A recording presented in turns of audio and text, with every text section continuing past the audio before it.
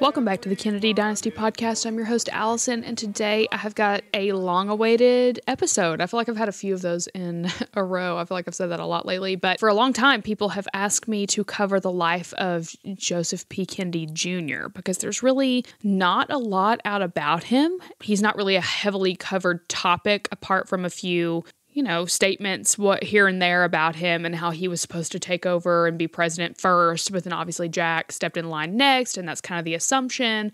And that's really all I've ever learned of him before doing a little bit of research for this episode. So I'm going to be honest with you, there wasn't a significant amount of backstory into him, but there was definitely some things that I had never learned before, a little bit more in depth about his life and who he was. So we'll get into that in a minute, and I hope you enjoy the episode. But first, let's tackle our in the news segment. Big uh, news story of the past seven days. So this week, the Cape Cod Kennedy compound home was vandalized. Actually, not just the main home, but a few different ones, which was terrible. This is according to the Boston Herald. The Barnstable Police Department is investigating after three homes on the Kennedy compound in Hyannisport were vandalized earlier this week. According to the police, officers responded around 9 a.m. Wednesday morning to report vandalism at three residences on Marchant Avenue, as well as two vehicles parked at a residence on Island Avenue in Hyannisport. Marchant Avenue, a small cul de sac, is home to the famous Kennedy family compound, and a Barnstable police spokesperson confirmed that two of the three vandalized homes are associated with the Kennedy family. So there were shattered windows, things like that. It says the incident is currently under investigation and the motive of the vandalism is unknown at this time. Chris Kennedy said nobody likes to be attacked like that. The threat is real for us, and he is obviously the son of Bobby Kennedy. He spoke to WHDH outside of the compound this week he said, but the police have done a really good job investigating, and we're pretty confident that whoever did this will come to justice. So it sounds like it doesn't really actually mention the main house there. It just says three of the Kennedy family homes, so I'm not sure if it was the main one or not. But still, that's terrible, and hopefully they'll find whoever did it. All right, let's get to our question segment. Therefore, in answer to your question, I have gotten asked a lot recently, actually. My DMs are pretty flooded with this question, which, by the way, if you DM me, I truly love it. I read as many, if not all of them, that I possibly can, but I cannot respond to all of them. My DMs are pretty flooded right now. It's just a busy time in my life. Holidays, you know, it gets pretty crazy. So I do try to read every message and I so appreciate them. If you take the time to write me and say anything or compliment the podcast or give me suggestions, I truly, truly, truly appreciate that. So know that if you did not hear back from me on a DM, I probably did read it. I probably just didn't have the opportunity to respond, but I thank you beyond words for taking the time to write me. A common question that I get in my DMs, though, is what my favorite Kennedy books are. Because luckily, which I'm really happy about, it's one of the main reasons why I have this podcast, is a lot of people find this and then get really interested in the Kennedys and want to know, well, where do I start as far as reading goes? There's a lot of books you can start with. I'm reading an Unfinished Life right now about JFK. It's a really good biography. I'm not too far into it, but I'm really enjoying what I've read so far. So I would highly recommend that. It's one of the most highly recommended. If you've been listening for a while, then you know that I am a huge Jackie fan. And I have to say, my favorite Kennedy book I've read to date.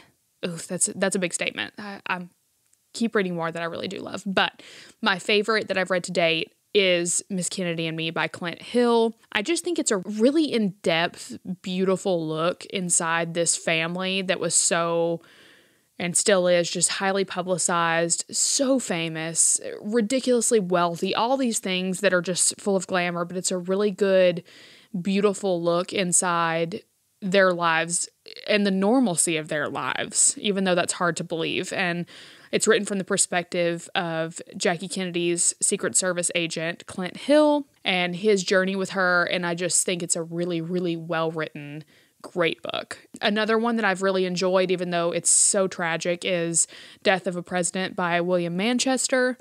That's one of the most classic books to date. It was written about the assassination and the aftermath and all those things, but it's a really, really very detailed, a very thoroughly researched story of everything coming together. So I have really enjoyed that one, although it's a very long read. And I'm a person that I can't just read through something quickly. I wish I could, but I, especially when it's a topic that I'm so interested in, I sit there and have to analyze every single thing about every single sentence. So if there's a sentence in Death of a President, for instance, that mentions whoever from the Dallas Police Department, then I in my head have to literally connect the dots of where I've heard that name before, or oh, that person goes here, and then I'll research. So it takes me 17 years literally to read a book, but that's one that's just really worth the time and the read, and it's gut wrenching, but it's a uh, I don't know, it's just really well done. And last but not least, I'll actually be inserting a clip from in this episode is the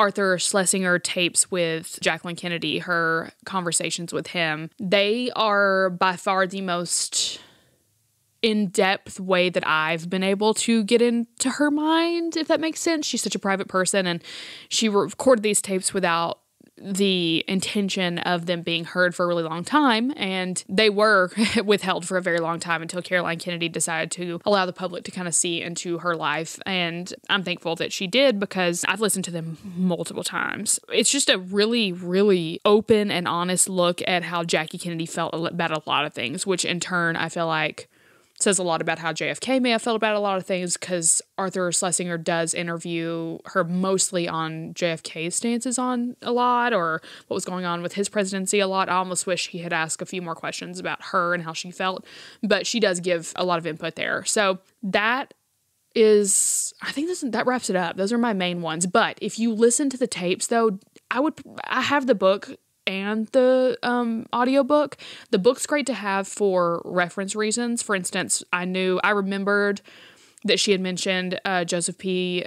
Jr. in a in a moment with in the tape. So I was able to go pick up the book, look up his name, see where she mentioned it, and it took me directly to where it was. So then I was able to go to the tapes on Audible and know exactly where it was. So it helps me as far as um, getting the direct audio clip and where it's going to be for you guys. So the book's great too, but I would highly recommend listening on Audible so you can hear her actual voice and her inflections and the way that she uh, speaks about it. So I think I've mentioned all those before in different capacities, but uh, that's my roundup that definitely suggest that everybody, especially if you're interested in this family and learning more, read those.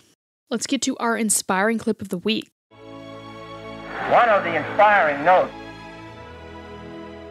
Now, I don't know how like inspiring this clip is, but I just thought it was cool to listen to. I, I like to go back to the debates every once in a while and just, they're so iconic that uh, sometimes I find myself just researching and listening to the first presidential debate. So, this one is a clip from the first debate between Kennedy and Nixon in 1960 here in the United States, which developed the Tennessee Valley and which built the Grand Coulee and the other dams in the northwest United States, at the present rate of hydropower production, and that is the hallmark of an industrialized society, the Soviet Union by 1975 will be, be producing more power than we are.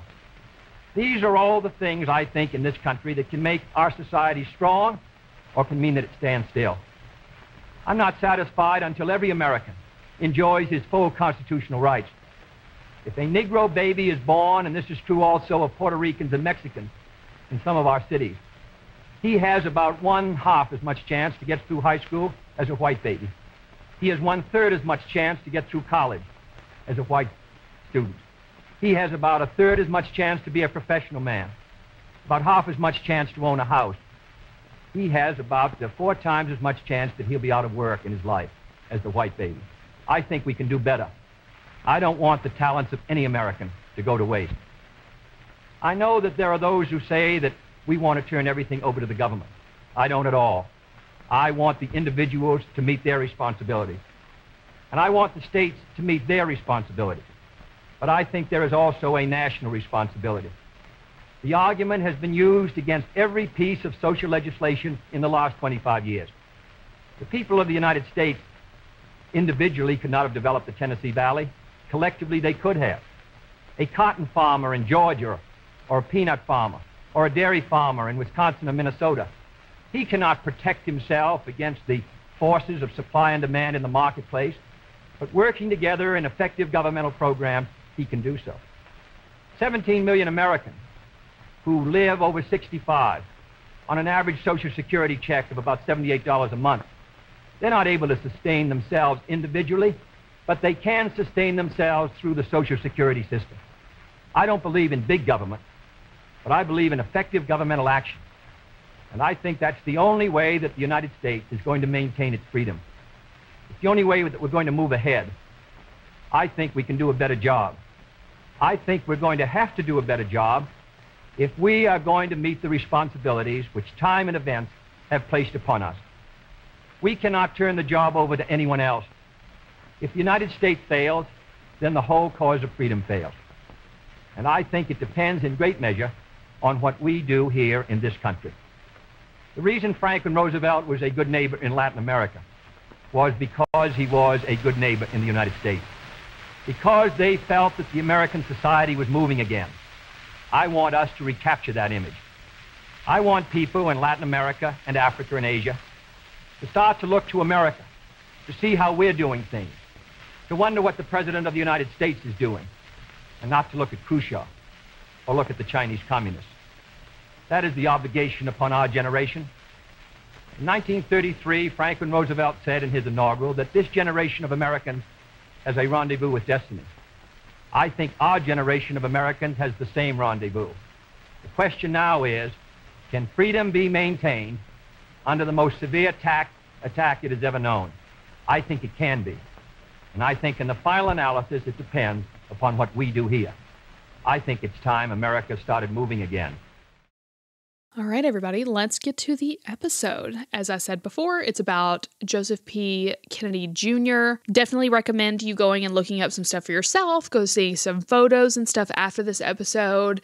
Maybe you can even find some more in depth things than I was able to at this time, but I hope you enjoy what I have found. My main sources are the JFK Library and NPS. So let's get started the basis of what we know about Joseph Patrick Kennedy Jr. is that he's the first child of Joseph P. Sr. and Rose, first of nine. And obviously, this family's expectations were out the roof. Can't imagine the pressure put on them all the time. And being the oldest, I especially can't imagine that. And the oldest boy. So, in this time period and when this was, the I would imagine unbearable pressure of, of those two factors of being the oldest and being a male were pretty heavy for him. But he kind of seemed to always meet those expectations in every single way. And as we know, Joseph P. Kennedy Sr. was just so fond of Joe Jr., Jack, and Kick. Those were his three fave kids. And he had just really big hopes and big dreams for Joe in general. So let's get into a little bit of backstory about his childhood. He was actually born on July 25th, 1915, in Hull, Massachusetts. That's H U L L. I'm so southern, I may be pronouncing that incorrectly. That's how I read it. But he lived in Brookline with the rest of his siblings JFK, when reflecting on the significant role that Joe had in his family, according to NPS, said very early in life he acquired a sense of responsibility towards his brothers and sisters, and I don't think he ever forgot it. So I think that really leads into the amount of pressure and stuff that was probably put on him from a very early age. Also, according to NPS, he worked really hard in school and in sports, and he at first started attending the Edward Devotion School, which is now known as Florida Ruffin Ridley and the private Dexter School. He also was an altar boy at St. Aidan's Church and he always was very defensive of his family if they were ever in any way criticized about being Irish or of Catholic faith. From what I've read about him, too, all of this pressure, all of these things, all of these extracurriculars, if you will, that he was involved in, did not take away that he was still very much a Kennedy, very mischievous, always crazy, daredevil, doing all the things, jumping off the boats, playing pranks. I mean, that was just the Kennedy spirit that they had, and he very much had that as well, along with the rest of his siblings. I thought this was kind of funny from the article. Rose Kennedy said in her memoir that there was one time a sign at a restaurant that said no dogs allowed, and Joe and his brothers changed it to say no hot dogs allowed. And they also started a secret club initiating new members by sticking them with pins. Like, what the heck? Just a couple mischievous kiddos for sure.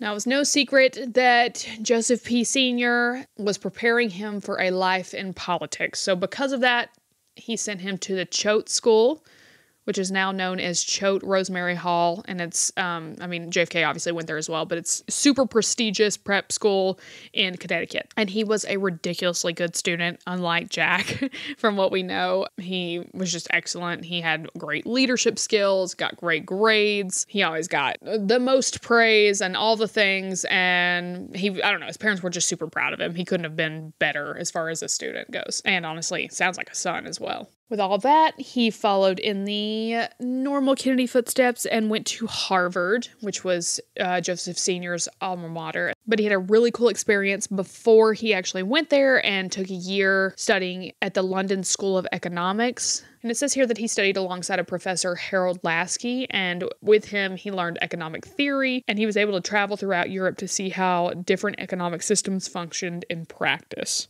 So after that adventure, he comes back, goes to Harvard in 1934, and he was always one to be into everything. And I have to say, I was not like that. I don't know why I'm inserting myself into this because wow, I did not go anywhere even close to Harvard or anything like that, but I didn't do Greek life. I didn't do anything. I literally went to class.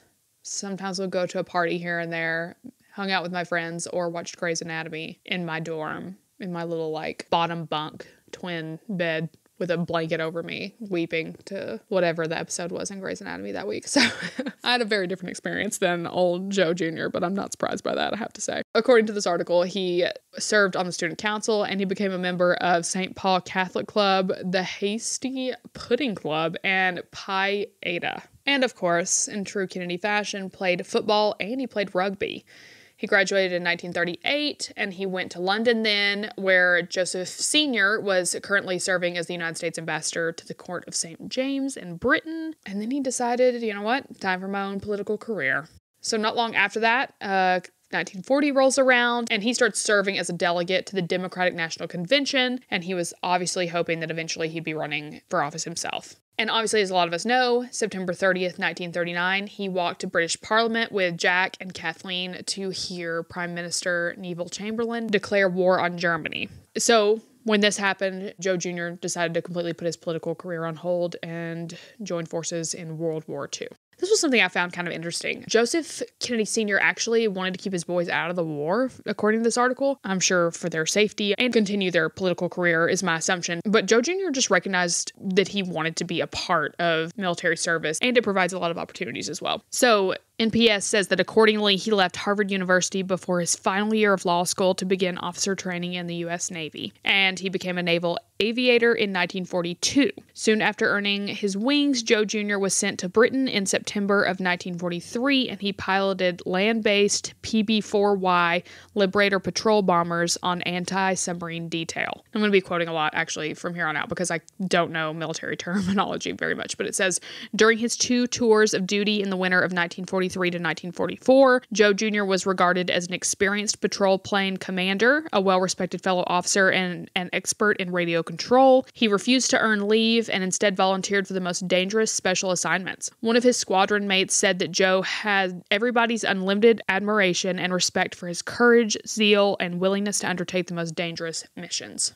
And then in the summer of 1944, Joe Jr. volunteered for a secret bombing campaign with the code name Operation Aphrodite. His mission was to fly over Normandy, France, in a radio controlled B 17 bomber to a German V 2 rocket launching site, arm the explosives stowed on board, and then parachute to safety before the plane exploded over a German target. That is wild. So, on the evening of August 12th, he and his co pilot, Lieutenant Wilford John Willy, departed from the Royal Air Force Fersfield Station in Norwich, England. And as the plane headed to the North Sea coast, Kennedy prepared the plane for detonation and radioed the agreed code Spade Flush, his last words. Two minutes later, both men were able to eject from the plane. The explosives ignited prematurely and it killed Willy and Kennedy. The wreckage landed near the village of Blythburgh in Suffolk, England, and the cause of the explosion was never concluded. And this was at the same time that JFK was actually recouping from his own war injuries, and that's when he heard the news of his big brother's death. And he apparently told a close friend that now the burden falls on me. And to honor Joe, John created a memorial book for his family titled We Remember Joe, and he wrote, His worldly success was so assured and inevitable that his death seemed to have cut into the natural order of things. So, like I said, that was heavily quoted from NPS.gov. After Joe Jr. passed away, he was awarded the Air Medal and Navy Cross for his heroism. And in December of 1946, the Navy actually named a destroyer in his honor. This is pretty interesting. The naval destroyer that they named in his honor actually participated in multiple things, but it also was part of the U.S. naval quarantine of Cuba during the 1962 Cuban Missile Crisis and space missions recovering Gemini 6 and Gemini 7. I just think it's interesting and really kind of full circle how the fact that his brother's memorial naval destroyer also helped along in JFK's presidency. I just find that really touching. It says that today the naval destroyer named after Joseph P. Jr., which is called the USS Joseph P. Kennedy Jr. DD 850, rests in Fall River, Massachusetts as part of the Battleship Cove Maritime Museum. And also, I'm pretty sure I've probably talked about this before, but Joseph P. Sr. and Rose created the Joseph P. Kennedy Jr. Foundation in 1946, which provides leadership in the field of intellectual disabilities and creates practical programs to benefit those with intellectual disabilities, their family, and their communities. Eunice and Teddy led the foundation until 2009. Even to this day, it continues to support and provide opportunities for individuals with intellectual disabilities. Now, a few things. I want to read a quote. This is directly from JFK Library. This was said by uh, John F. Kennedy about his brother. It says His squadron, flying in the bitter winter over the Bay of Biscay, suffered heavy casualties, and by the time Joe had completed his designated number of missions in May, he had lost his former co pilot and a number of close friends. Joe refused his preferred leave and persuaded his crew to remain on for D Day. They flew frequently during June and July, and at the end of July, they were given another opportunity to go home. He felt it unfair to ask his crew to stay on longer, and they returned to the United States. He remained, for he had heard of a new and special assignment for which volunteers had been requested, which would require another month of the most dangerous type of flying. It may be felt perhaps that Joe should not have pushed his luck so far and should have accepted his leave and come home. But two facts must be borne in mind. First, at the time of his death, he had completed probably more combat missions in heavy bombers than any other pilot of his rank in the Navy and therefore was preeminently qualified. And secondly, as he told a friend early in August, he considered the odds at least 50 50, and Joe never asked for any better odds than that. One more thing I want to comment on too, and I'm going to insert a clip from, as I said earlier at the beginning of this episode. So, the most common assumption, just to recap, is that Joe Jr. was the one that was the chosen one by Joe Sr. to run for president. That's just commonly stated in probably every Kennedy documentary, every Kennedy biography, everything that you ever read. And I find it kind of interesting because that was actually contradicted a bit in the tapes that Jackie recorded with Arthur Schlesinger. And I don't know if this was a biased opinion because obviously Jack was such a profound presidential figure and obviously the love of Jackie Kennedy's life. So I don't know if her statement is necessarily biased because of that or she was trying to kind of change the narrative on that a little bit. And Arthur Schlesinger seems to some somewhat agree with what she says. So before I keep talking, I'm just going to play the clip of a conversation about this particular topic on if Joe Jr. was the one that was supposed to be the chosen child for presidency. So here it is. Is, is the story true? It's been sometimes printed that the, the ambassador originally thought of expected Joe to be the great political figure of the family. Well, that's the sort of trite story that all these people who used to go to interview Mr. Kennedy you get so tired of people asking for anecdotes. And he'd always produce this thing that Joe would have. And, well, now, how can I say? Because I never knew Joe. And uh, obviously, I suppose Joe would have run for politics. And then Jack, being so close to him, couldn't have run right on his heels in Massachusetts. Maybe he would have gone into something literary. Um, but it's just not as simple as that story sounds. And then once Joe was dead, um, you know, Mr. Kennedy didn't do any strange thing of saying, okay, now we run you. Everything just evolved. They came back from the war, I don't know. I agree. The stories always sounded to be too pat and mechanical. And, and, and uh, Joe was a classmate of mine at Harvard. Oh, yeah. But uh, I've got a feeling, uh, from what I think of Joe and everything, that um, he would have been so unimaginative compared to Jack. He would never have, I think he probably would have gotten to be a senator and not much higher.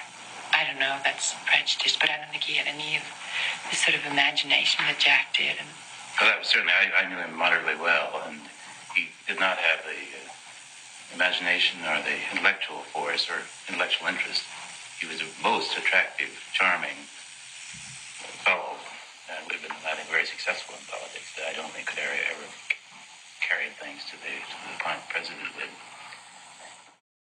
So as you can see, I just feel like Jackie was kind of saying that's not really necessarily the case. It was never like, you know, he was born into automatically going to be the one to run for president. I don't know. It was just a very interesting clip that I had remembered. And when I started to prep for this episode, I just thought that I would include that in there. I thought it was a different take on that particular narrative. So do with it what you will. I think we can see from this episode that Joe Jr. was a really incredible human being, a very brave and wonderful leader and excellent and studious and smart and really fit the bill for a Kennedy, a Kennedy and what Joe Sr. and Rose would have wanted for their children and raised them to be. So, anyway, I just, I've really enjoyed studying him a little bit more and finding out just how really brave he was and the fact that he, I, I don't know, I think it's pretty cool that he put his political ambitions aside and fought for our country. That's one of the most amazing things you can do. And I just am thankful that he did that. I hope you enjoyed today's episode and I hope you learned something new. If you like the episode and the podcast in general, make sure you're subscribed. Please rate it five stars and write a positive written review on Apple Podcast. Those really, really help me so, so much. So I'd really appreciate you taking the time to do that. And if you don't have time to do that, just tap that five stars on the Apple Podcast as well. That really helps too. Also, check out my Amazon recommendation site. I will link it below. I've got a really exciting episode for you next week. Like I said before, make sure you're subscribed and I will talk to you guys soon. On and vote for Kennedy, vote